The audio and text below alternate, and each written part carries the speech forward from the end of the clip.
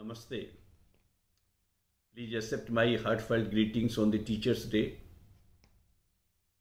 Defining the decisive role of our teachers in leading the nation to the higher notches of our second President of India, the great educationist, the great philosopher, Dr. Sarvepalli Radhakrishnan has said that teachers should be the best minds in the country.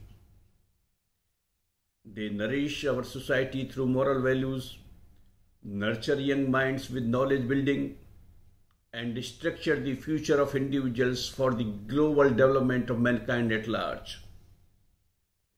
Such faith and responsibility calls for the utmost professional service and the highest degree of ethical conduct.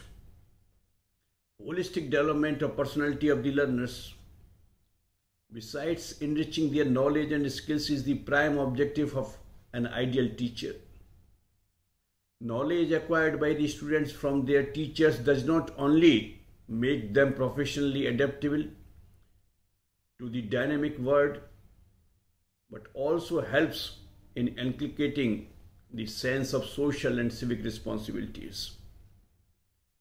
According to the traditional definition, Guru is the enlightened master who acts as the dispeller of ignorance for their students and prepares the foundation for well-being of mankind.